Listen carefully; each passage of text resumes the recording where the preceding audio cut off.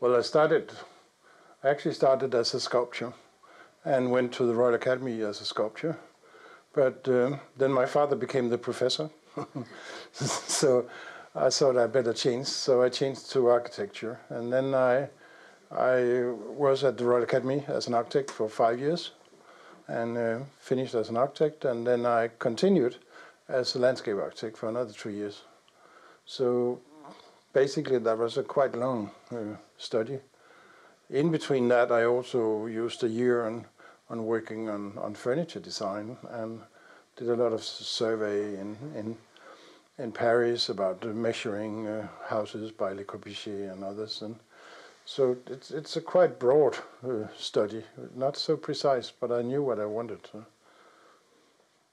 But, but besides that, I, I there were no jobs when I ended up, so so it was a time where things were not easy to get a job, and I got a job at uh, a design magazine where I was a researcher uh, uh, doing an, an, international magazine, so we were doing things all over the world, and and my luck was that I knew most of the the designers I had to talk with, so it was in that sense easy.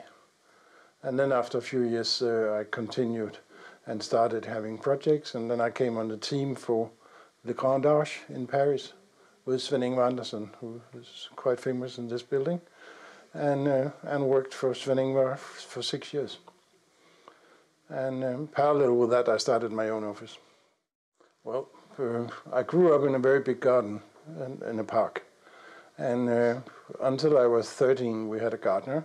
So I was walking behind him all the time. We did all kind of, of vegetables and had uh, 14 different kinds of, of apples and a real gardener.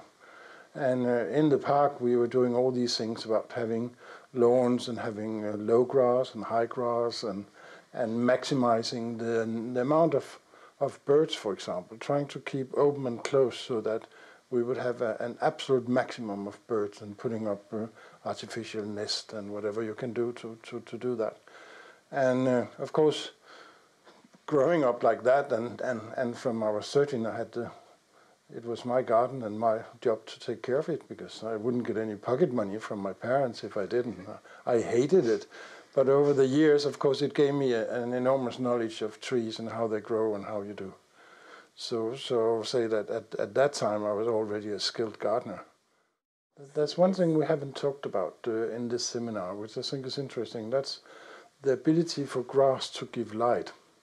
If you have a, a, a, piece of gravel, which you often have on a big square, it, it doesn't give very much light from it itself. But but when you have grass, it, it, it really captures the light. So so it capture it makes a flow of light, which uh, also grass is so different whether it's in the shadow or whether it's in the sun.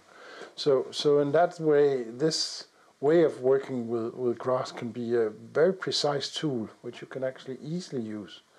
Uh, no one today uh, came into to that discussion, but I think it's far more interesting than how you cut the grass.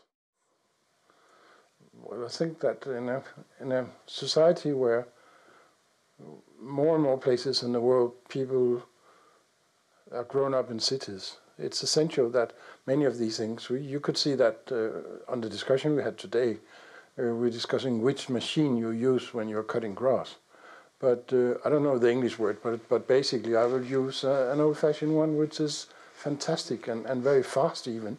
And if, when you use such one, what's the what's the English name? What's the Italian name for? for yeah. falce. Yeah. Yeah, but you have the one which is a little bigger, which you use for uh, corn. But but but anyway, when you use that one, you can you can you can twist it around flowers. So so it's a fantastic way of keeping uh, two-year flowers if you want that, so you can go around them, and then it will be fantastic the year after.